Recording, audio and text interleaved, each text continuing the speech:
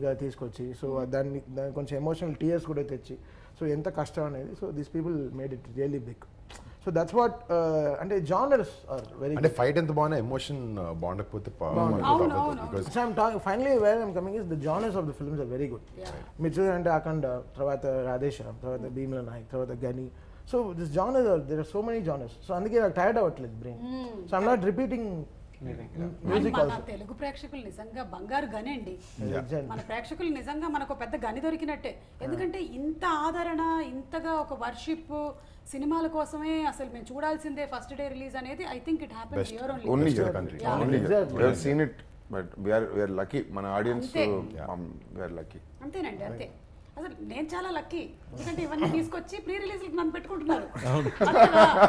అదే most lucky. ఇప్పుడు మీరు ఇంటర్వ్యూస్ బైక్ చేస్తున్నారు. బాగా. మామూలుగానే నేను ఎక్కువ చేస్తుంటాను.